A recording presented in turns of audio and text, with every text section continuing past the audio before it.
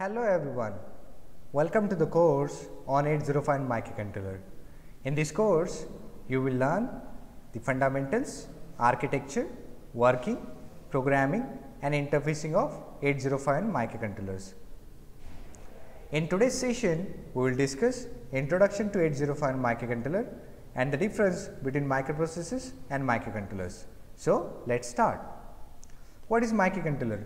A microcontroller is an integrated circuit that is programmed to do a specific task. What do you mean by specific task? Well, the digital embedded devices such as camera is used for a specific task or application that is to capture the images. Similarly, washing machine is also used for a specific task or application that is to wash the clothes. Now, the question is can we use the camera to wash the clothes? So, the answer is no. So, these are the specialized embedded devices designed to do a specific task. Another definition, a microcontroller is a VLSI IC as shown in the figure that contains a CPU also called processor along with some other peripherals like memory, RAM and ROM, IO ports that is input output ports, timer, counters, communication interfaces, ADC, DAC etc. Or one can call microcontroller simply as a mini computer.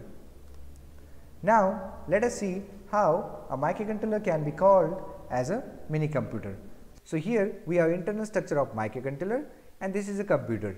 So, we will try to compare the internal structure of microcontroller with the components of CPU of computer. So, here we have processor core also called CPU and in computer also we have CPU mounted on the motherboard. Then RAM memory is used in both that is internal structure of microcontroller as well as CPU of computer. Then we have data storage SD, MMC used as a memory devices and in computer we have CD, DVD, hard drive which are used as memory devices. Then we have modem and router used for external communication using Ethernet and we have Ethernet in internal structure of microcontroller and finally we have USB ports in computer and we have USB in internal structure of microcontroller as well. So, you can see that that internal structure of microcontroller has a similar components that of components of CPU of computer. That is why we can call microcontroller as a mini computer. Now, figure shows the internal structure of microcontroller. Let us assume that this is a 8 pin IC of microcontroller. If you check the inside of microcontroller IC, you will find that more or less these blocks or components are present in it. So, we have processor core also called CPU, then system bus, peripheral bus, to the system bus we have clock and the memory devices connected and to the peripheral bus we have ADC, DAC, USB, uh, in short peripherals are connected. Now let us see the internal structure of microprocessor. In microprocessor, the peripherals such as memories, then ADC, DAC, USB, Ethernet, these are not internally present.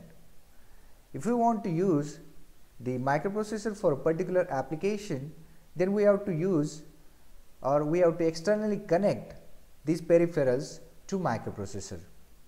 But in case of microcontroller, these peripherals are inbuilt, means internally present. So, that is the structural difference between the microprocessor and microcontroller. Now, let us see the difference between microprocessors and microcontrollers. First, application. In microprocessors are used in a general computing devices such as computer, laptops, tablets. We know in a computer we install several softwares such as gaming based applications or softwares, then uh, photo editing softwares, then softwares which involves uh, simulations. So, these softwares or applications demand intensive processing. In short, we can say that the microprocessors are used in an application or devices which, which requires intensive processing, while microcontrollers are used in home appliances, specialized embedded devices such as camera, washing machine, TV, TV remote. Next, the speed of microprocessor is very fast. Now that is quite obvious because the devi devices in which the microprocessors are used requires intensive processing. That is why the speed of microprocessor must be very fast. External parts in microprocessors the external parts used are many. Now earlier we have seen the internal structure of microprocessor as well as microcontroller. In internal structure of microprocessor the peripherals are not present internally. So we have to externally connect them if we want to use microprocessor for a particular application. But that is, that is not true in case of microcontroller. The uh, peripherals are present inbuilt. Those are internally present in microcontroller. So that is why external parts in microcontroller are few.